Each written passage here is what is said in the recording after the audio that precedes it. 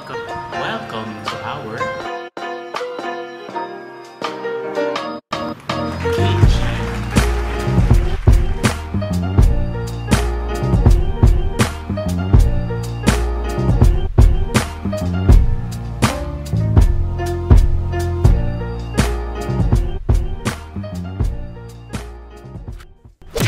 Good morning everyone, July 6, 2018 and uh, kagigising ko lang, uh, tulog ako maghapon kanina.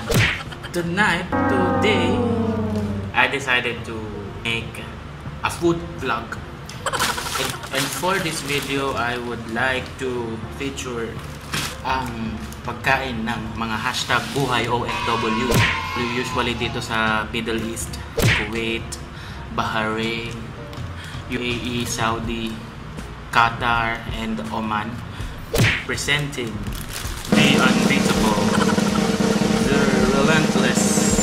Indomie instant noodles, special fried noodles. There you have it,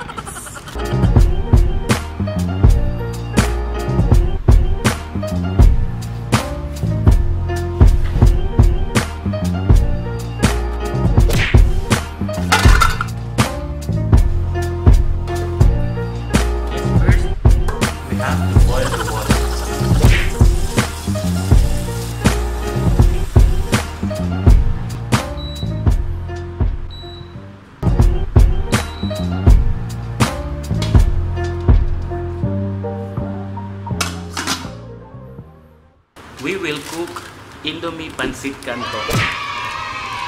Sa Pilipinas, uh, I think meron na tayo nito. Medyo mahal ata sa Pilipinas. It's kinda common thing here in uh, Gitnang Silangan. So if you kinda like this video, please uh, subscribe on my YouTube channel and my Facebook page. Comment, like, everything. So, let's start. How to cook this Indomie Pancit Canton. Yes, basically, nagpakulo na ako ng tubig kanina bago mag-start ng video. So, ngayon, kumukulo na siya.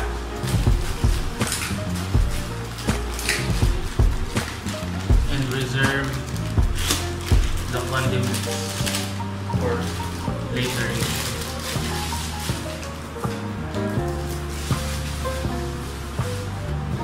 Palambot na natin yung noodles. Takpan natin siya para maluto hashtag buhay OFW wala tayong magagawa. Minsan ah wala na tayong time magluto para sa sarili natin. At wala na tayong time magluto para sa sarili natin. Or hindi naman talaga tayo marunong magluto. So we tend to buy something na easy to prepare na lang. Pan dito na yung mga condiments. Natin in the pack meron siyang this condiments and this uh, seasoning na kasama. Masarap tong Indomie. Actually, mas, mas, mas nagustuhan ko siya kaysa sa pansit canton natin sa Pilipinas, si canton. Mas malasa siya, mas madami, and uh, mas nakakabusog. So, we'll just mix it all here in, in the plate.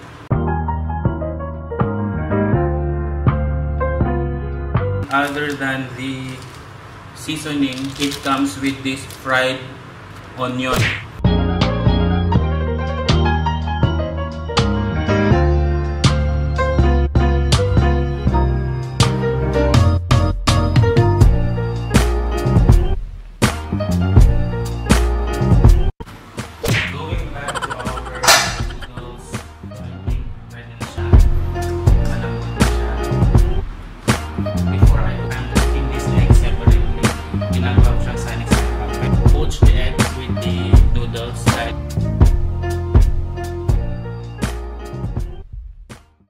Guys, uh, as you can see, the eggs are slowly cooking on Yes, we're done. I-drain na natin. Strainer, hugasan lang natin siya sandali. And there you have it.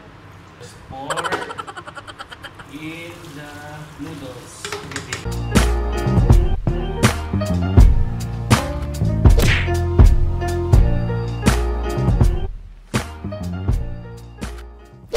One thing pa pala, to make it more special, again, natutunan ko lang to sa isa ko na namang OFW yung kaibigan.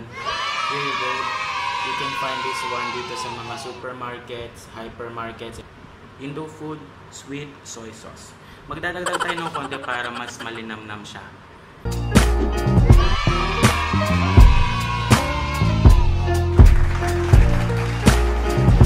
So there you have it guys, Special Pancit Canton. Hashtag Buhay OFW. Hashtag Cook Like a Pro. Hashtag Umani Life. Hashtag Buhay OFW Tamad.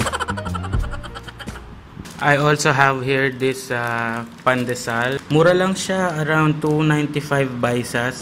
Cost maybe around 30 to 40 pesos. 2, 4, 6, 8, 10. I, around 10 pieces. If you want to check it out, punta lang kayo sa Carrefour. I also have this pineapple juice. Lacnor Healthy Living 100% pineapple gold juice. Masarap siya, lasa siyang ah, pineapple juice ng Pilipinas. And this puck cheddar cheese slices. So, let's eat!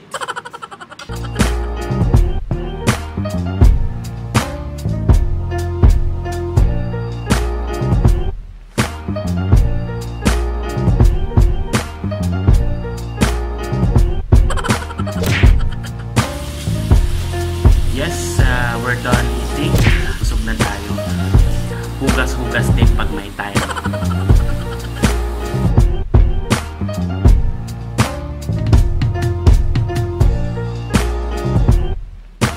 Ah! Tapos na ako maghugas.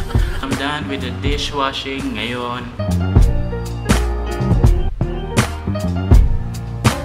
So, there you guys. Indomie special video episode. Hanggang dito na lang muna. Pa ako mamaya umaga. So, see you on my next video. Yala, bye bye.